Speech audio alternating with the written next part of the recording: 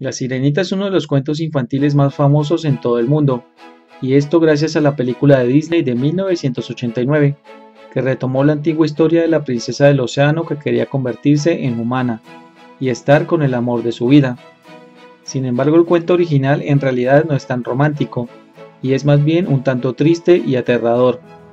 Si quieres saber su verdadera historia, no cambies de canal, ponte cómodo y empecemos.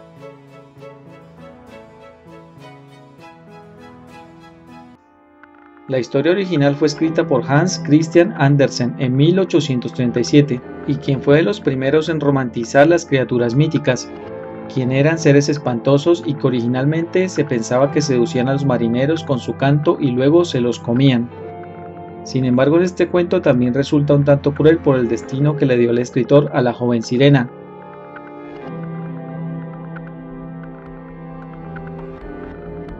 En el cuento original la sirenita es una joven hermosa, hija del rey del océano, que está fascinada con el mundo humano, a tal grado que quiere pertenecer a él. Cuando cumple la mayoría de edad, a la princesa se le concede el regalo de visitar la superficie, y es ahí donde ve por primera vez al príncipe, quien también celebra su cumpleaños a bordo de un barco. Pero luego de una tormenta el barco del joven naufraga y la sirena salva al joven, de quien queda perdidamente enamorada. Después de esto ella decide hacer un trato con la bruja del mar, en el cual ella dará su voz a cambio de que la transforme en humana. Hasta aquí la historia parece no ser tan diferente a la de Disney, aunque sí vemos algunas diferencias. Por ejemplo, la bruja original no es quien se interfiere en los planes de Ariel en el mundo humano, pues el príncipe ya estaba enamorado de otra doncella que conoció tras ser rescatado de las profundidades del mar.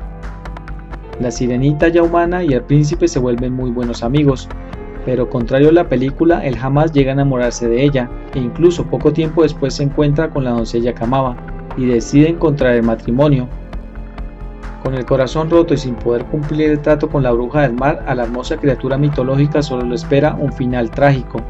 Pero sus hermanas, al ver el fatal destino que le esperaba Ariel, hacen un trato con la bruja, el cual consiste en que Ariel debe asesinar al príncipe y a su esposa, y así ella seguirá con vida y podrá regresar al océano. La joven con cuchillo en mano se dispone a acabar con la vida de la pareja, pero Ariel tiene un corazón tan noble que no es capaz de cometer esa atrocidad, y una vez que regresa al océano, en las olas desaparece convirtiéndose en espuma, acabando así este cuento. Como podemos ver de nuevo Disney tiene la costumbre de acabar sus historias con un final feliz, lejos de los crueles desenlaces de las historias originales. Pero ahora quiero saber tu opinión. ¿Conocías la verdadera historia de la sirenita? O viste la película animada cuando era chico? Si es así déjame tu comentario y si este video te ha gustado no olvides compartir, darle me gusta y suscribirte al canal. Muchas gracias.